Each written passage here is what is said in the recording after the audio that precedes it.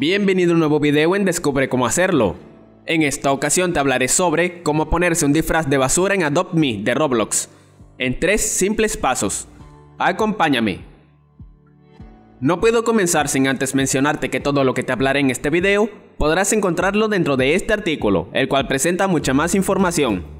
Te invito a que ingreses, el enlace directo estará en la descripción del video. El entretenimiento virtual se encuentra presente todos los días. Algunos encuentran diversión en los juegos en línea, ya que permiten hacer casi cualquier cosa. Adopt Me de Roblox es precisamente uno de estos juegos, en los que incluso puedes adoptar mascotas y hasta un hijo.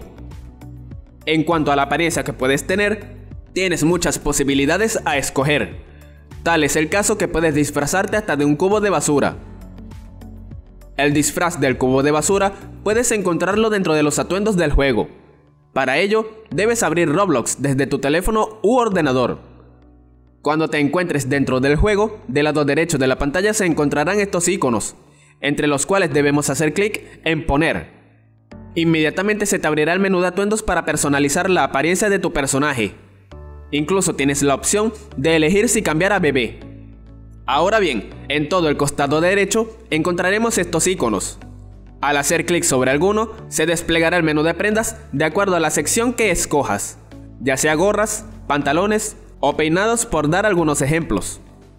Entre los diferentes iconos debemos ubicar este, el que se encuentra debajo de la gorra. Es aquí donde podemos encontrar el cubo de basura. Solo debemos deslizar por este menú hasta encontrarlo, o en su defecto, podemos escribir trash en la barra de búsqueda que se encuentra en la esquina superior derecha.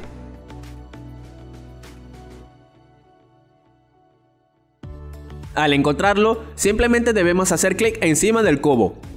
Este se pondrá automáticamente. Ahora hacemos clic sobre el icono de la gorra. Aquí también escribiremos trash para usar esto de sombrero. Por último, lo que suelen hacer los jugadores es complementar el disfraz, escogiendo la apariencia de un esqueleto a través del icono de disfraces. Hecho esto, podemos hacer clic en regresar. Ya tendrás listo el atuendo de cubo de basura en Adopt Me. Esto ha sido todo. En caso que tengas alguna duda, déjale en la caja de comentarios. Y no está de más decir que si te ha gustado el video, puedes suscribirte al canal y activar la campana para alertarte de nuevo contenido. No olvides dejar tu like y continúa descubriendo cómo hacerlo. Hasta luego.